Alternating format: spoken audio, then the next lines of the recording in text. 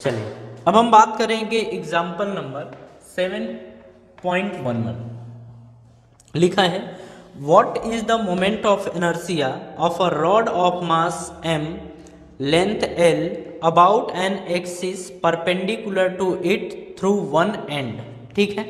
ये रॉड का बोल रहा है। बोल रहा है कि अगर ये कोई रॉड है तो इस रॉड में एंड के अबाउट मोमेंट ऑफ़ एनर्सिया क्या होगा? मतलब आप ये समझिए कि जैसे यह एक रॉड है, ठीक है? रॉड में आप देखिए, इसके अबाउट मोमेंट ऑफ़ एनर्सिया पूछ रहा है कि इसके अबाउट मोमेंट ऑफ़ एनर्सिया बताइए कितना होगा, ठीक है? हमें देखिए, इसमें पता होता है इस सेंटर के अबाउट मोमेंट ऑफ़ एनर्सिया और ये परपेंडिकुलर होता है। मतलब कुल मिला के ऐसे होता है, ठीक है? तो इसके अबाउट मोमेंट ऑफ़ एनर्सिया हमें पता होता है। वो मोमेंट ऑफ़ एनर्सिया हम लिख लेते हैं। हम ऐसा मान लेते हैं कि वो आई के बराबर था या हाँ ये था और इसका मास अगर m है, इस रॉड का मास m और लेंथ l है तो I आता है M L square by twelve ठीक है? सेंटर के अबाउट मोमेंट ऑफ़ एनर्सिया ये आता है। अब हमें इसके about moment of inertia calculate करना है मतलब ये परपेंडिकुलर है, ठीक है? तो देखिए, ये और ये दोनों एक दूसरे के पैरेलल हैं और हम आई डैश बताना चाहते हैं, या आई डैश हमसे पूछा है, यही पूछा है।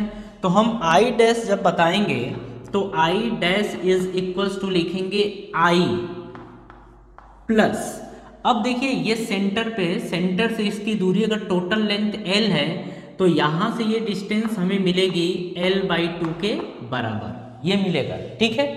तो अब देखिए पैरेलल एक्सिस थ्योरम यहाँ पे अपन यूज़ करेंगे। पैरेलल एक्सिस थ्योरम ये हम यूज़ करेंगे। जब पैरेलल एक्सिस थ्योरम यूज़ करेंगे तो आई प्लस एम और यहाँ से इसकी डिस्टेंस है एल बाई टू का स्क्वायर ये आ गया।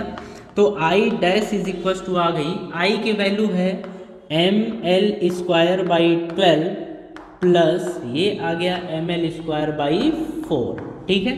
क्योंकि एल बाई टू का L square by four LCM लेंगे तो एलसीएम आएगा ट्वेल्व तो देखिए, ये वन टाइम तो वन का मल्टी ट्वेल्व से ट्वेल्व में डिवाइड करेंगे वन टाइम वन का मल्टीप्लाई करेंगे तो M L square plus four three जा ट्वेल्व तो थ्री से मल्टीप्लाई करेंगे तो ये आ जाएगा थ्री एम एल स्क्वायर। तो देखिए, वन और थ्री यहाँ पे आ जाएगा four M L square, upon में ये ट्वेल्व है तो फोर थ्री जा ट्वेल्व तो ये आ गया M L square by three, ये आ गया।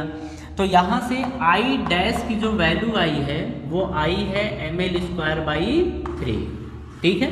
मतलब इसके अबाउट जो मोमेंट ऑफ़ एनर्सिया मिलने वाला है, वो मिलने वाला है M L square by three के बराबर। ठीक है? चलिए।